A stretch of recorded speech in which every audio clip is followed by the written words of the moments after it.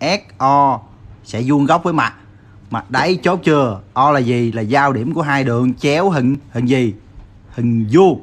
Chốt chưa rồi tìm góc hợp bởi giữa mặt đi. SCD với lại à, ABCD thứ nhất tìm ra giao tuyến là gì? Chốt. Tiếp theo kiếm cái đường thẳng nào? Vuông góc với nằm trong mặt đáy trước đi. Kiếm đường thẳng nào? Vuông góc.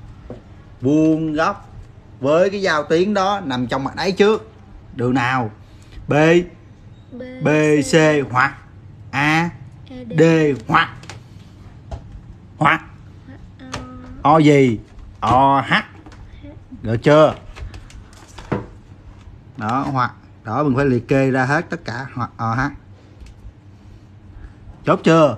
Sau đó là tiếp tục kiếm cái đường nào nằm trong mặt S CD vuông với uh, DCD quá dễ đó là SH kẹp luôn chưa? Thì góc hợp bởi giữa hai mặt đó chính là SH ờ đoạn này có chưa? Tính được không? Được. Lấy đoạn này chia. Lấy đoạn này chia. Đôi.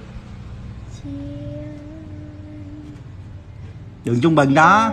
Chia đôi. Ra đoạn này tiếp đoạn này đứng được không quá dễ tam giác tam giác gì? Đều. Thì đều đây đường gì? Đường cao thì bằng cạnh nhân căn ba chia.